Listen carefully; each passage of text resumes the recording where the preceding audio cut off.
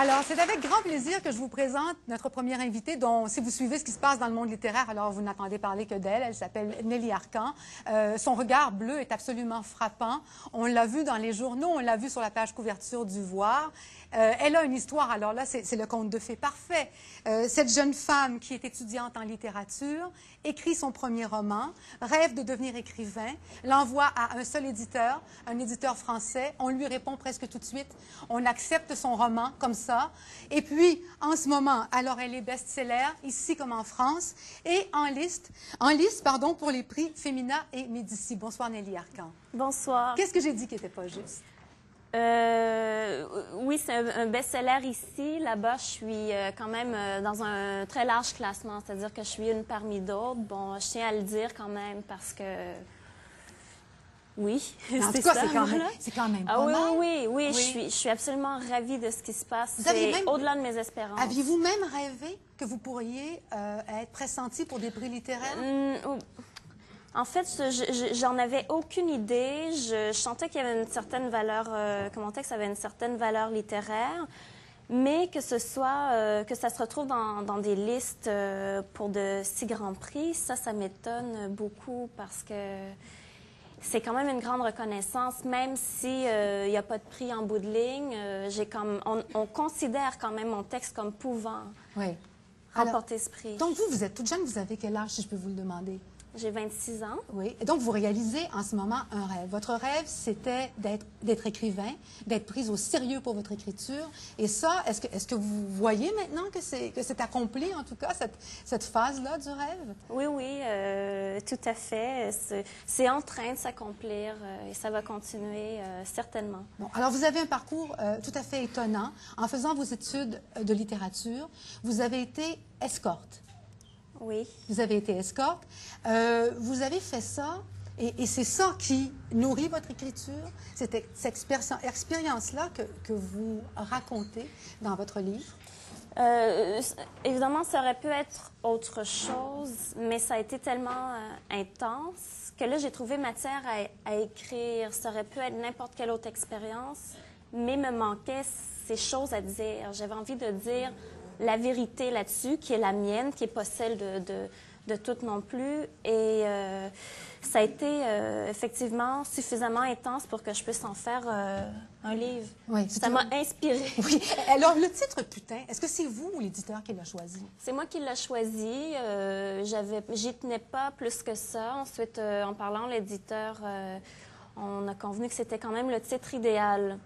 Sauf que je sais que c'est un titre qui peut me nuire dans le sens que, bon, on, entend tellement parler de sexualité que ça peut rebuter certains lecteurs, mais c'est un peu trompeur aussi comme titre puisque euh, je ne relate pas dans, dans ce livre des, vraiment des scènes euh, explicites ou... Comme Catherine Millet, par exemple, à qui on va parler tout à l'heure, qui, elle, décrit très minutieusement. Non, c'est-à-dire mm. que Catherine Millet, elle, raconte euh, la rencontre de son désir avec le désir d'autres hommes, où il y a vraiment une réciprocité, il y a un plaisir, euh, même si c'est écrit d'une façon assez détachée, c'est une sexualité qui a un sens. Alors que dans Putain, euh, la narratrice ne connaît rien de son désir. En fait, elle n'en parle pas parce qu'elle est constamment actrice dans le scénario du désir de l'autre. Et ce sont des scénarios qui sont absurdes parce qu'elle reste étrangère à ça. Il n'y a, pas de rencontre.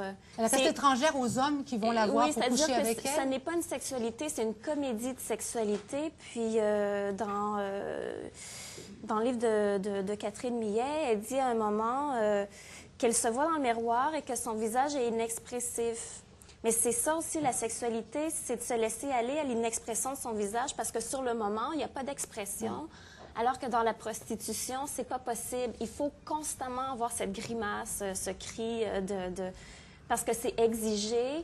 Et c'est pour ça que je dis que ce n'est pas le désir de la narratrice qui s'exprime. Et d'ailleurs, c'était pas le projet euh, de, mon texte que de, faire l'étalement de, scènes sexuelles. C'était plutôt de dénoncer un discours de haine, de tristesse, de désespoir. Pourquoi vous avez fait ça, vous, prostituée? Euh, je veux pas, je, je, veux pas euh, entrer là-dedans. Ça serait trop long. Je, je préfère parler, je préfère parler de mon, mon texte, mais je, crois que c'est, j'avais envie de me réapproprier quelque chose. J'avais tellement laissé partir de, moi et, j'avais envie, de dire, ben, vous ne m'avez pas eu parce qu'au fond, vous n'avez jamais su ce que je pensais de vous. Et puisque j'ai jamais su insulter les gens verbalement et que je suis toujours restée très gentille et euh, euh, obéissante, euh, je me suis en quelque sorte vengée. Si vous vous vengez des, des hommes que vous avez d'une certaine Pas- façon pas- quoi, non, pas- méprisés? Pas, seulement des hommes, parce que je déteste pas les hommes. C'est-à-dire, Non, je parle de vos clients, là. Oui, c'est-à-dire c'est, la masse, c'est le défilement euh, de, de la succession, alors qu'on peut, euh, dans certains cas, comme euh, chez Catherine Millet, en trouver une source de jouissance, alors que là, la narratrice se perd parce qu'elle cherche des limites à cet excès, à ce- cette illimité. Elle cherche des... Elle, veut que ça s'arrête et elle ne sait pas comment, euh, parce qu'elle est un peu piégée euh, là-dedans. Et elle parle beaucoup de son père, sa mère, et elle essaie de s'expliquer sa situation en fonction de son histoire familiale. C'est-à-dire avoir pour elle le, le désir du plus grand nombre pour surtout pas être comme cette mère euh, non désirée et euh, de, s'assurer une survie en même temps qu'elle se rend compte que ça la détruit parce qu'elle elle ne, sait rien de son désir à elle. Oui, alors je vous, demande, parce que je sais que vous êtes allé chez Thierry Ardisson, euh, une émission qui a été faite la fin de semaine dernière, qui va passer ici, euh, je le dirai tout à l'heure, la semaine prochaine ou l'autre semaine, et vous ne mettez pas, vous n'avez pas mis là la même distance. Euh, vous avez parlé de vous. Et ici, dans les entrevues au Québec, vous parlez Oui, de, de, de la narratrice. Oui. Et moi, j'avoue que j'ai entendu, je n'ai pas vu cette entrevue-là, mais je l'ai entendue. Et je vous ai vu ici dans les entrevues au Québec. Et j'ai été euh, troublée par ça. Je n'ai pas compris. euh, J'aimerais que vous m'expliquiez pourquoi. Oui. L'important, c'est le livre. Le livre Oui, mais pourquoi avec lui, vous avez accepté d'ouvrir le voile, puis ici, vous le faites pas? euh, grivoise. euh, tout le monde, de, de tout, tout- tout le monde euh, s'exhibe plus ou moins. On parle de soi. C'est l'émission qui se prêtait à ça. Et j'aurais pu faire autrement, mais je j'ai aucune expérience euh, des médias. Euh, Ça fait un mois que je passe des Oui. entrevues et je ne sais pas comment naviguer là-dedans. Et tantôt, je me contredis, je parle à la narratrice, tantôt, je parle de moi parce que on- on, en fait, l'idéal, c'est de, de revenir au texte. J'aimerais que les gens lisent ce texte sans penser, euh, si, sans que soit soutenu l'intérêt de lecture uniquement par le fait que ce soit euh, autobiographique, euh, parce que c'est un peu dommage. Moi qui étudie la littérature, euh, je, je- quand j'entre dans un livre, euh, c'est le texte que j'aime. Je comprends. Moi, en tout cas, Bon. si je peux me permettre un commentaire personnel pour vous avoir vu dans d'autres entrevues puis vous avoir entendu avec lui, j'ai trouvé qu'au contraire, ça n'enlevait rien à votre texte. Non. Ça rendait les choses plus immédiates, plus Ouais. vraies, plus Ouais. concrètes, plus simples, Ouais, plus ouais. facile de vous parler. Oui, oui, c'est vrai. Ben, et, puis, et puis, ça donnait vraiment envie de le lire, Ouais. vraiment envie de vous parler. Lui, il n'arrêtait plus de vous parler d'ailleurs. Et moi, je vous ai adoré dans cette entrevue-là. Ah bon? Puis je veux vous adorer ici ce soir. Là, je veux pas. Alors, votre texte, il est formidable. Ouais, vous je- écrivez. Non, Écoutez, on mais- est à genoux devant votre talent. Bon. Ne vous inquiétez pas. Non, mais de ça. je- c'est juste que je pense à euh, c'est pas pas simple hein, la famille. Oui, c'est pas pareil ici au. Québec. Vos parents, ils habitent ici. Est-ce qu'ils vous regardent là en ce moment? Ben peut-être. Mais Ardisson aussi, ça passe au Québec. Oui, mais c'est tard. Je sens. euh, bon, écoutez, c'est un texte vi- viscéral, c'est-à-dire que moi, je, je, je c'est euh, l'affect qui euh, amorce la réflexion. Ça n'est, il n'y a, pas de détachement. Ouais. Elle, elle est pris, je- ou je, si vous préférez, je suis Elle. piégée dans moi-même. Je suis pas capable de me décoller, de me voir euh, d'une façon neutre euh, de l'extérieur. Donc, c'est, beaucoup de, d'élan, d'émotion, de, de colère. Euh, en fait, ce n'est que ça. Oui. Alors, si vous voulez, Nelly, on s'arrête le temps d'une pause. Oui. Et on revient avec Nelly Arcan, auteur de Putain, on vient tout de suite. De retour avec Nelly Arcan. Nelly Arcan, à un moment donné, vous dites J'ai toujours su être la plus petite, la plus bandante. Vous, vous êtes compétitive, hein? Ah, Faut oui. être la plus belle. L'unique. L'unique, la seule, la plus belle. Oui. Source euh, de souffrance euh, extrême parce qu'évidemment, ça n'arrive pas. Il y a toujours une autre. Mais vous êtes très jolie, vous le savez. Oui, mais c'est beaucoup, beaucoup d'efforts. euh, Entraînement physique. Vous êtes prête oui. à tout, hein? Tout. Oui, vous avez même fait la chirurgie? En tout cas, euh, dans, le, dans le livre. Non, ça, ça non, mais parce que j'ai vu des résultats euh, assez euh, atroces et ça m'a fait peur, mais j'ai beaucoup pensé quand même. Oui. La tyrannie de la beauté. Vous, vous êtes tyrannisée par le besoin d'être belle, de rester jeune, de De- rester belle. D'être dans le désir des hommes, oui, c'est vital, tout à fait. C'est vital et en même temps, j'aimerais savoir m'en dégager et c'est un peu le, le- noyau euh, du livre, c'est-à-dire que euh, elle constate qu'elle est, qu'elle est prise au piège et, et- ce qui qui va pas dans son cas, c'est que le désir qu'elle qu'elle reçoit de ces hommes-là, elle n'y a pas droit. En fait, elle, elle croit qu'elle n'y a pas droit Oui. Parce que ce sont euh, des figures paternelles. Et bon, un père se définit justement par le fait que on ne touche pas à sa fille. C'est ce qui le place, c'est ce, que ce qui le positionne.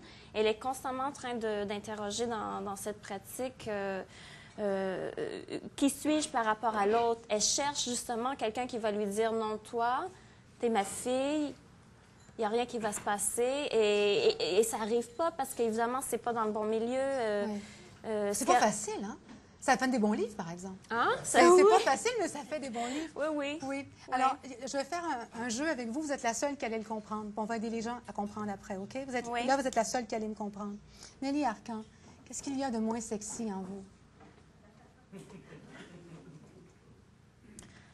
Beaucoup de choses, mais s'il y a une chose. Vous euh, savez à quoi je fais référence, là? ben, là, la- l'accent de Hardisson. Oui. Et, et il a carrément insulté, euh, alors qu'il vous adorait, votre accent, Oui. notre accent, Non, non, mais c'est- comme on n'a jamais Oui, entendu mais- personne C'était ridicule de faire ça parce que tout le monde a un accent. Qu'est-ce qu'il vous a dit sur l'accent québécois? Ben, c'était un accent euh, qu'on n'utilisait plus depuis le 18e siècle. Il y avait des cours pour ça. que c'était affreux? Oui, que c'était l'accent le plus atroce qui soit. Bon, ça, c'est. Je, je m'y attendais, ça arrive, c'est un classique euh, des Parisiens de- d'être comme ça. Moi, ça m'a pas vexée parce que j'ai aucune. euh, j'ai aucun complexe euh, vis-à-vis de mon accent. Puis euh, j'ai trouvé ça à la limite un peu mignon quand même, euh, comparé à ce que d'autres dans la salle pouvaient dire. Et, et oui.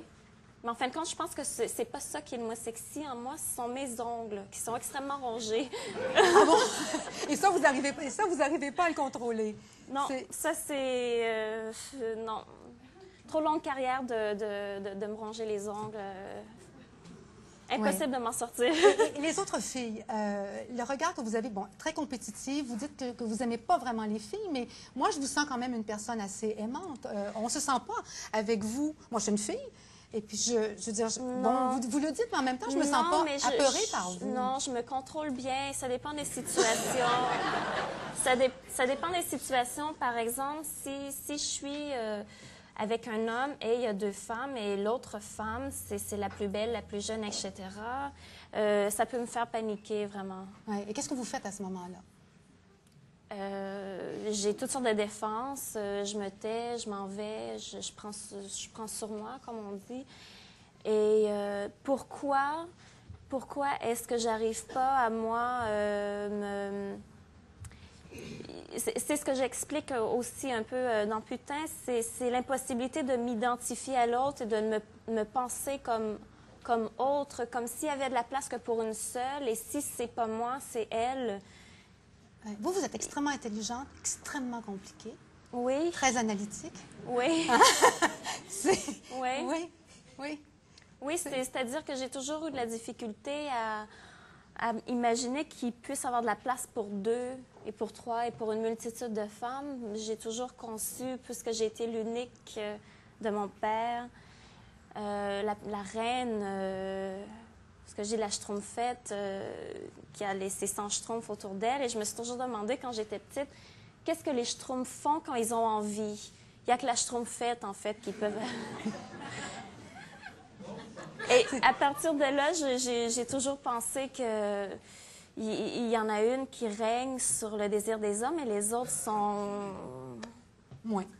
Moins. Invisible. Oui. Et moins belle. Mais là, je dis ça évidemment je- avec un peu d'ironie. là. Je, le- je le sais que de façon rationnelle, ça n'existe pas.